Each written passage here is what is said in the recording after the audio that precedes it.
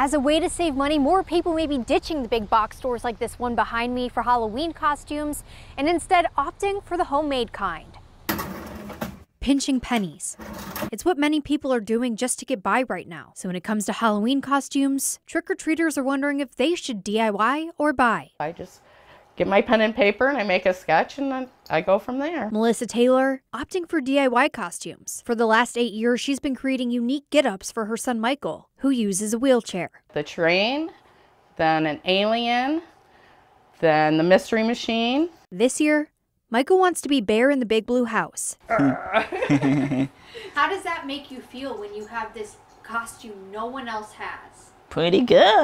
And besides seeing Michael's big smile, Melissa says the best part is the price. Normally under $30, which you can't buy, you know, anything like that extravagant, I guess. For $30, you're not going to get much. Several people on the same page posting their homemade creations to Facebook. James Gold says he likes to DIY his costume as well. Typically, I'll find something at like like a resale shop. A resale shop like Encore in Southfield. Even if it isn't a costume, people that are creative can come up with something. If they see it, they can replicate it here for, you know, a reasonable price. Manager Scott Kowalski says he sees the demand for secondhand costumes. People are struggling with budgets and, you know, expenses, so I think they know they can come here and get quality stuff. But DIY isn't for everyone. I don't have DIY kind of time. Liliana Schaefer says she still enjoys browsing big box stores for costumes. I buy the separate pieces, kind of make something new, throw things together, make my own kind of thing. But whatever you decide to do this Halloween, Always find a way to be creative and be yourself.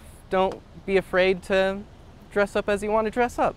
reporting in Farmington Hills, Carly Petras, 7 News Detroit.